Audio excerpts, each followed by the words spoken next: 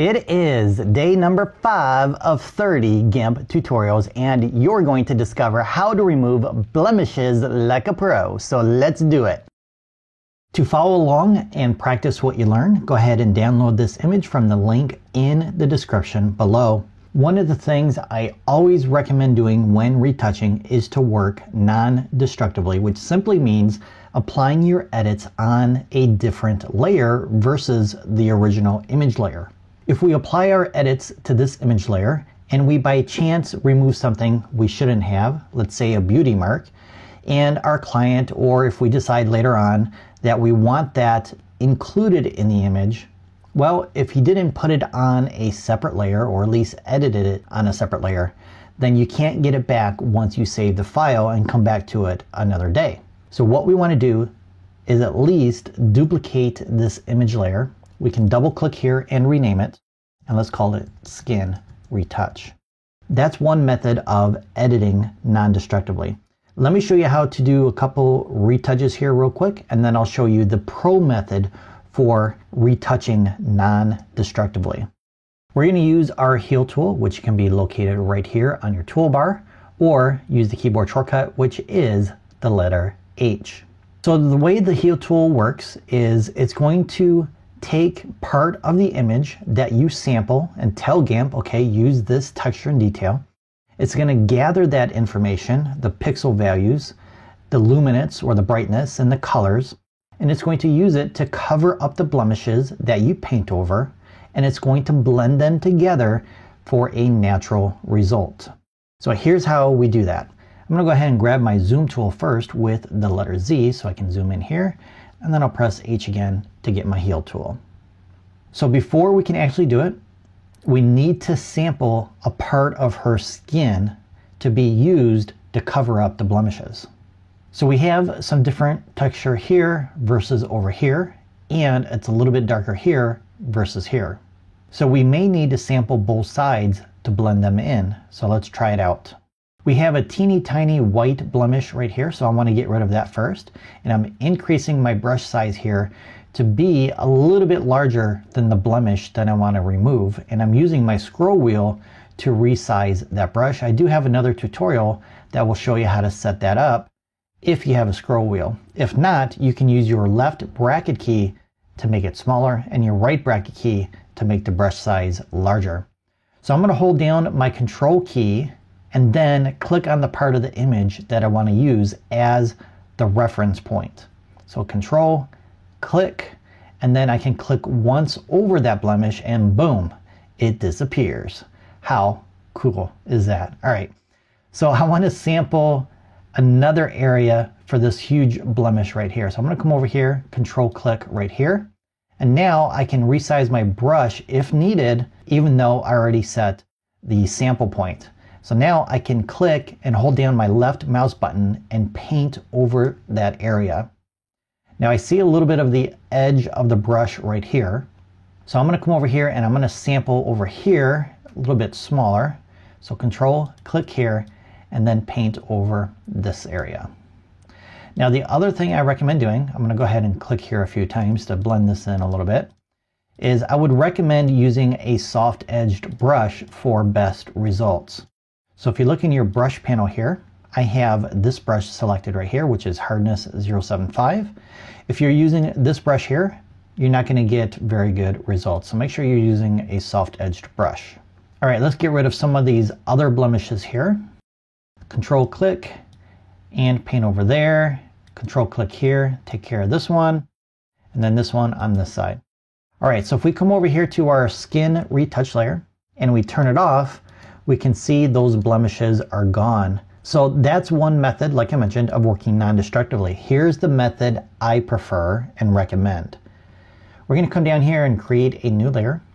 I'm going to call it Pro Skin Retouch.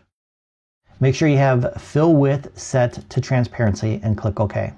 In the tool options, scroll down to the bottom and make sure you have sample merge selected. Now we're going to come over here again, control, click, and paint over some of these blemishes. Now what I'm doing is I'm keeping my left hand near that control button So I can quickly sample new points as I go along and retouch different parts of her skin here. So this area here is a little bit darker than the other parts of her skin around it. So we may need to do some dodging and burning. I'm gonna go ahead and blend these in a little bit. And dodging and burning is another editing technique and it's beyond the scope of this tutorial. It's something we will cover in a future tutorial. So I'm just holding down my control key as I go along here and picking out new sample areas and going over some of the areas I've already done just to help blend it in a little bit more. We have a little redness here, so I'm going to go a little bit larger and just paint over that area. And then we have a little scar here, so I'm going to control click right here. And then I'm going to click and paint over this area by holding down my left mouse button. All right, so you might be wondering what's going on with that new layer that we just created. So I'm just gonna do a couple more here real quick, and then I'll show you what we just did. So let's go ahead and get rid of these here real quick. Now real quick, I have another tip for you. When you get closer to a defined edge like this, like her chin and her jawline here, let's say there's a big blemish right along the line here, you may want to switch to your clone tool because it's not going to blend in that edge with the neck like the heal tool is or use a smaller heal brush and zoom in real close so you can see where that line is for that cheekbone and her neck so it doesn't blend into her neck and then it's going to look like she just has one big neck. So I'm going to come over here and turn off these image layers here and you can see the edits that I applied on this layer and now we have more control and flexibility over the retouching we did for the skin, especially when you continue creating new layers for different parts of your retouching. So for example, I'm going to create a new layer and I'm going to call it eye retouch. Now we can apply our eye edits to this layer and we can keep them separate from other types of edits. Again, so you have that flexibility to make adjustments to it later on. So we can come up here with our heal tool. I'm gonna go ahead and make this smaller. I'm gonna control click and get rid of this little vessel right here. So now if I decide, you know what, I over edited the eye, it looks fake, it's too white, there's no texture, no detail, and I see a lot of images that are over edited when it comes to the eyes and they're pure white. Our eyes are not pure white. As you can see, it's more of a light grayish color than pure white. So if you over edit, you can always come back and make adjustments to just this layer. And if you wanted to, you could lower the opacity down to bring some of that texture back and it's separate from your Pro Skin Retouch layer here, or whatever you call this layer. Then I would create another layer for the eyebrows, another one for the eyelashes, another one for the lips, and another one still yet for the hair.